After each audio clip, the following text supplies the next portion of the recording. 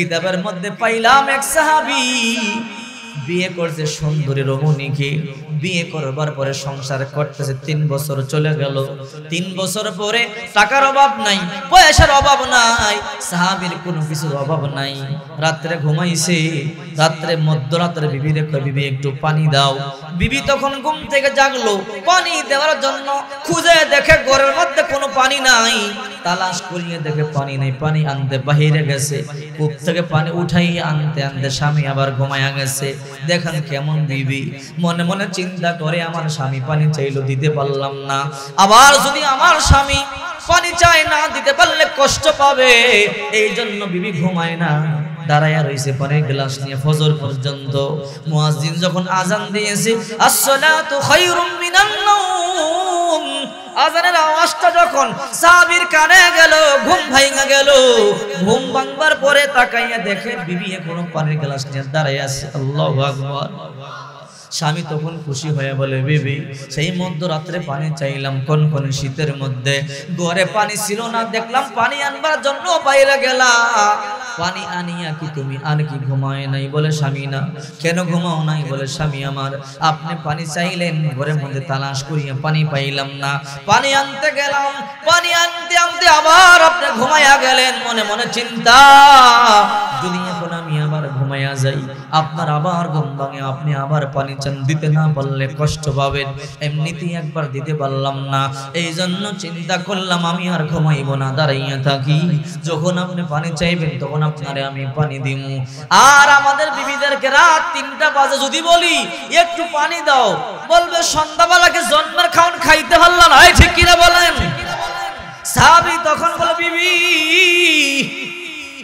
একটা নেককার বিবি পাইছি। এমনিতেই তো তোমার উপরে সন্তুষ্ট ছিলাম। আজকে আরও বেশি সন্তুষ্ট। হে বিবি, আজকে আমার কাছে যা চাইবে তোমার আমি তাই দিয়ে দিন বিবি কয়, তাই দিবেন বলে হা, সত্যি বলে হা। বিবি তখন বলে, মুসলমান কিন্তু মিথ্যা কথা বলতে পারে না। এইবার ওই সাহাবি কয় হ্যাঁ মিথ্যা কথা বলতে পারে না। আপনি বললেন, যা সামুতাই দিবেন বলা বলে, তাহলে আমার তালাক দিয়া দেন। এবার সাহাবি তো অবাক হয়ে গেছে কিরে বিবি? আমি চাইলাম যা চাইবে তোমার তাই দিব। স্বর্ণ চাও, গহনা চাও, শাড়ি চাও, জুতা চাও। তুমি তালাক চাইলে কারণটা কি আমারে বলো? বলে, আপনি তো বললেন যা সামু তাই দিবেন, তালাক দিয়া দেন। না না, তোমার তালাক দিতে পারব না। ওই নারী বলে স্বামী আমার, আপনি মিথ্যা বলবেন না। মুসলমান মিথ্যা কথা বলতে পারে না। আপনি তো বললেন, যা সামু তাই দিবেন। সাহাবি চোখের মানে সারিয়া কান্না করে বলে, বিবি রে, তোমার তালাক দিলে আমি বাঁচতে পারব না। আমি তোমার জীবন থেকে বেশি ভালোবাসি। হ্যাঁ বিবি, কেন তালাক চাও? আমার সংসারে আসবার পরে কি কষ্ট দিছি বলে না। খাবারের কষ্ট বলে না, কাপড়ের কষ্ট বলে না, ভরণ পোষণের কষ্ট বলে না। কেন তালাক চাও? বিবি তখন বলে, সেই কথা আমি আপনারে বলব না। আপনি বললেন, যা চাইব তাই দিবেন। আমি চাইলাম তালাক আপনি তালাক দিবেন, আপনি কোনো কথা জিজ্ঞাসা করবেন না। সাহাবে চোখের মানে সারিয়া কান্না করে বলে, বিবি, তোমার সারা আমি বাঁচবো না। বলে, সেটা আমি জানি না। আমি চাইলাম তালাক তালাক দিবেন। স্বামী কান্না করে। বিবি তখন বলে, আপনার চোখের পানি আমার দুর্বল করতে পারবে না। আমি তালাক চাই, তালাক দেন। স্বামী মনে মনে চিন্তা করে, বিবি, এখনও তো আল্লাহর নবী রহমাতুল্লিল আলামিন দুনিয়া জিন্দা আছে। চলো আল্লাহর পয়গম্বরের কাছে যাই। আল্লাহর পয়গম্বর যে সিদ্ধান্ত দিবে, ওই সিদ্ধান্ত মানিয়ে নিব। এইবার বিবি মনে মনে চিন্তা করে, তাহলে ভালোই হয়। কারণ আল্লাহর পয়গম্বর বেইনসাফি করতে পারে না। আল্লাহর পয়গম্বর যেটা সত্য, ওই সিদ্ধান্তটাই দিবে। দুইজন স্বামী আর স্ত্রী আল্লাহর নবীর বাড়ির দিকে রওনা দিল।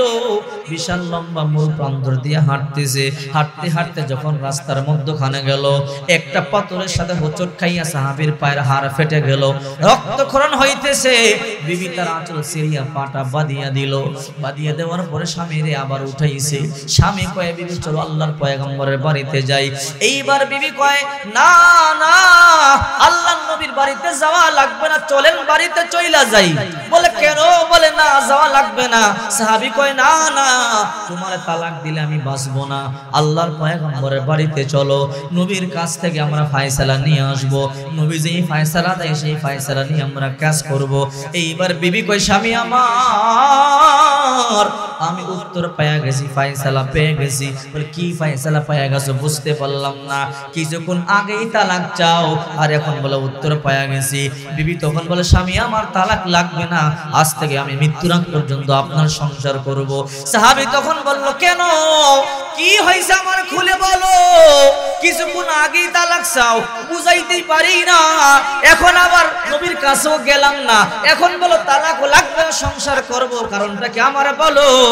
ওই নেককার বিবি তখন বলে, স্বামী আমার, আজকে তিনটা বছর আগে আমি আপনার সংসারে আসছি। আপনার সংসারে টাকার অভাব নাই, খাবারের অভাব নাই। জামা কাপড়ের কোনো অভাব নাই সুখ শান্তির কোনো অভাব নাই। ওগো স্বামী আমার আল্লাহ তাআলা বলেছেন ওয়ালা নাবলুওয়ান্নাকুম বিশাইইম মিনাল খাউফ ওয়াল জু ওয়া নাকসিম মিনাল আমওয়ালি ওয়াল আনফুসি ওয়াস সামারাত ওয়া বাশশিরিস সাবিরিন। আমি আল্লাহ তোমাদেরকে পরীক্ষা করব, ভয় দিব, ক্ষুধা দিব, বালা মুসিবত দিব, রোগ বালাই দেব। আজকে তিনটা বছর আপনার সংসারে আসলাম, কোনো অভাব নাই, রোগ বালাই নাই। আমি মনে মনে চিন্তা করলাম, মনে হয় আল্লাহ আপনারে পছন্দ করে না। আল্লাহ তো ওয়াদা দিয়েছে, যাকে আমি পছন্দ করি তার ঘরে আমি বিপদ দিয়ে দিব। আজকে তিনটা বছর আপনার ঘরে বিপদ নাই। আমার ভিতরে ভয় জাগলো। আহারে, সব সুখ শান্তি কি? দুনিয়ার মধ্যে ভোগ করে ফলাইতাছি। জান্নাতের মধ্যে গেলে তো শান্তি আমি পাবো না। এই জন্য চিন্তা করলাম, এত সুখ একটা গরিব কৃষক মজদুরের সংসার করব, একটা ভিক্ষুকের সাথে সংসার করিয়ে এক বেলা খাইব, আর এক বেলা না খাইয়া ঘুমাই আল্লাহর শুক্রিয়া আদায় করব, জান্নাতে গিয়ে আরাম করব, আনন্দ করব। এই জন্য আমি আপনার থেকে তালাক চাইছিলাম। ওগো স্বামী আমার এই মাত্র আপনার পা ফাটাইয়া আল্লাহ আপনার বিপদ দিয়ে আমারে বুঝাইয়া দিল রে বান্দি, তুই আমার বান্দার রাখিয়া চলে যাইস না। দেখ দেখ, আমি আমার বান্দার বিপদ দিয়ে বুঝাইলাম, আমি আমার বান্দারে বড় পছন্দ করি। আল্লাহু সাহাবীর বিবিরা বিপদ নাই কেন? এই জন্য তালাক চায়। আর আমাদের বিবিরা স্বামী বিপদে পড়লে তালাক চায়। ঠিক কিনা বলেন? স্বামী যদি একটু দুর্বল হয়, ঠিক মতো কামাই করতে না পারে। দেখবেন অন্যের সাথে পরকিয়া করে ঠিক কিনা বলেন। আল্লাহ হে গরিব বান্দা, তুই টেনশন করবি না। আমি তোর জন্য জান্নাতে হুর রেখা দিছি। জান্নাতি হুরেরা তোমার কানের গোড়ায় গান করবে। জান্নাতি হুরেরা প্রতিদিন দোয়া করে। হে আল্লাহর বান্দা, দুনিয়া তোর বিবি তোরে কষ্ট দেয়, শ্রম দিতে পারো না পাউডার দিতে পারো না, দামি শাড়ি গহনা দিতে পারো না। এই জন্য তোর বিবি কষ্ট দেয়। তুই টেনশন করবি না। কষ্ট করিয়া, সংসার করিয়া আমাদের কাছে আয়। আমরা তোমাদেরকে শুধু আনন্দই দিব আনন্দই দিব। বলেন, জান্নাতে রমণীরা গান করবে, নাহানুল খালিদাতু ফালা নাবিদু, ওয়া নাইমাতু ফালা নাবআসু, ওয়া রাদিয়াতু ফালা তুবা লিমান কানা লানা ওয়া কুন্না লাহু।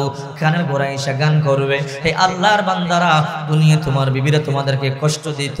টাকা পয়সার জন্য, স্বর্ণ গহনার জন্য। আমরা তোমাদের কাছে টাকা পয়সা, স্বর্ণ গহনা চাইব না। আমরা বুড়া হইব না, মরবো না, দুর্বল হইব না। দৈনিক তোমাদের জন্য সাজিয়া থাকব। তোমাদেরকে খুশি করবার জন্য, কিছুক্ষণ পর পর ড্রেস চেঞ্জ করে আসব তোমাদেরকে আনন্দ আর ফুর্তি দেওয়ার জন্য। আল্লাহু আকবার বলেন।